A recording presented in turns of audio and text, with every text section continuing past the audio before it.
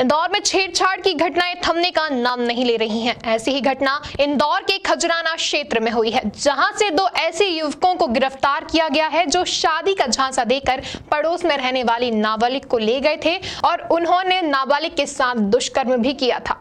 प्रभारी पीएस ठाकुर ने बताया, आरोपी गणेश और विकास पड़ोस में रहने वाली दो नाबालिगों को बहला फुसला कर अपने साथ ले गए और उनसे दुष्कर्म किया परिजनों की शिकायत के बाद पुलिस ने दोनों युवतियों को खोजकर परिजनों के सुपुत्र कर दिया अब सभी आरोपी पुलिस की गिरफ्त में हैं।